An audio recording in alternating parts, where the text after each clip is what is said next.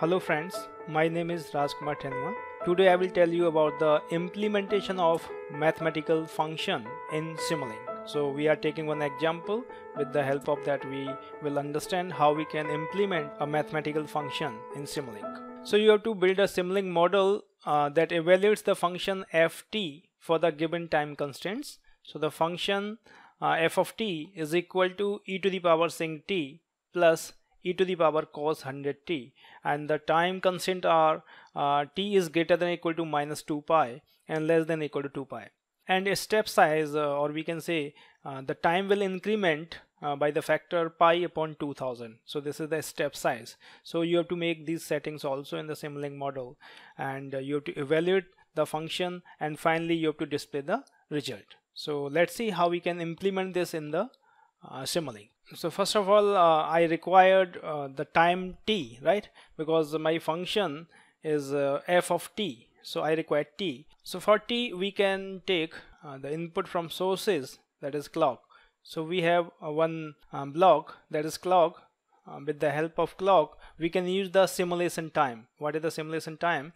It provide that as the outputs. So uh, simply it is providing the t. And after the t you have to perform uh, the sinc operation right? Sinc of t. And after that uh, you can perform the exponential okay? So this is t. And uh, after that you can use the MATLAB interpreted function right? So in MATLAB interpreted function you can write the sinc uh, or you can write sinc of u like this. Or if you keep this only sinc c it will work right so I'm just writing sync u.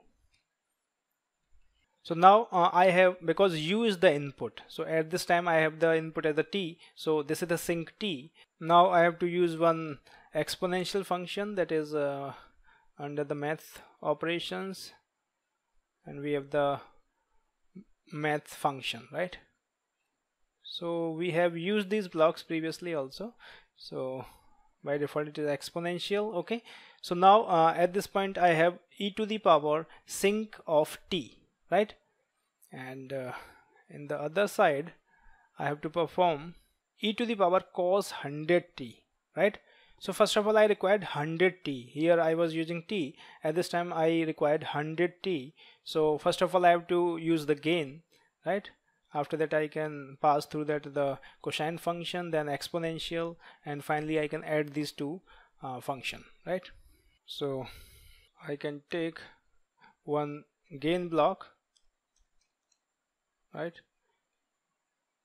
Gain block and uh, I have to write the value as 100 so the output of gain is now 100t and now I can use one trigonometric function right? So this is the block trigonometric function uh, so it has all the trigonometric options right? So you can choose. So here I have to use cos. So cos okay. So the output of this block is cos 100t right? After that you have to use the same block exponential. So control and drag. That create one copy okay? Now you can use one add block. So you can just type add. So add block is here or you can get all these from the math operations right? So we have all these blocks here. Now you can use one scope. Okay. Now we have to apply the time constraints okay?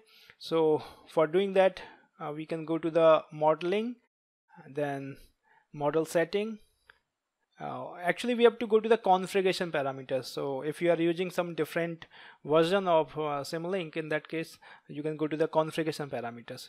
Okay? So here you have to set the starting time that is minus 2 pi right? And the stop time is 2 pi. Okay? So this is starting from minus 2 pi up to uh, 2 pi.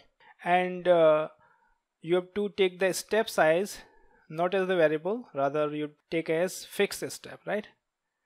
And uh, solver we are just keeping the auto right? So it will select automatically the suitable solver. There are so many solvers okay? So I will discuss about the solver in different video.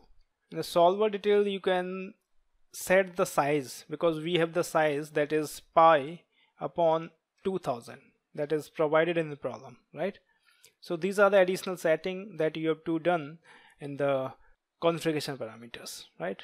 Apply. Okay now you can run the model. Check the output. So uh, we get the output. Uh, here you can notice that uh, it is starting from zero okay? So by default uh, it is start from zero. So we have to set the offset time right? Because we have the uh, time from minus, uh, 2 pi but here it is starting from zero. So for that you can just right click and go to the configuration properties or you can go to the view and configuration properties. And here uh, in the time you can change the time display offset right? So it is minus 2 pi. So now you can check it. It has started from minus 2 pi and going up to 2 pi now uh, this is the correct plot right?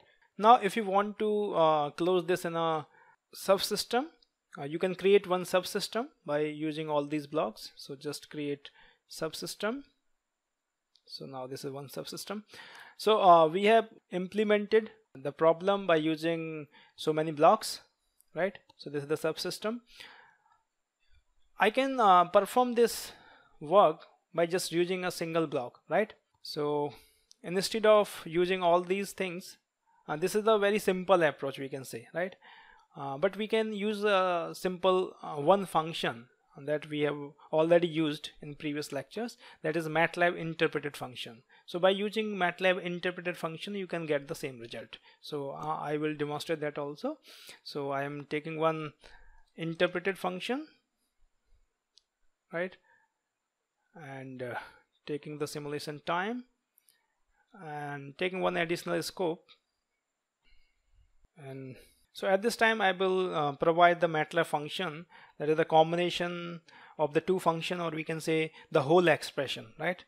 So that is e to the power. So for the e to the power I have to write the exp because MATLAB function is exp exponential. And we have the sinc function also sinc and I have to write here u because whatever the input is applied that is u okay so at this time we are applying the t. So I can say I'm writing simply sinc t right?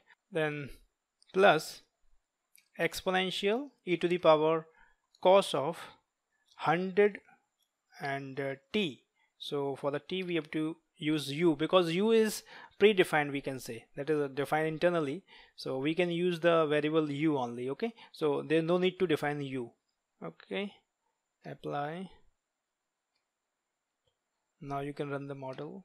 And you have to set the all configuration parameters but uh, here we have already set uh, those parameters. So for this current model that parameters are already set. So no need to change the parameters again. Okay you can check here. So these are already uh, set. Okay? So if you are just implementing by using this option you have to uh, set the configuration parameters. Okay? So now you can check the result. So we are getting the same result you can change the uh, time display offset that is minus 2 into pi so uh, we are getting the same result by the 2 scope you can check here right okay so I think now you can easily implement any mathematical uh, function within the Simulink. So I hope uh, you have enjoyed this lecture. If you have enjoyed this lecture, please like this and share with your friends. Thank you.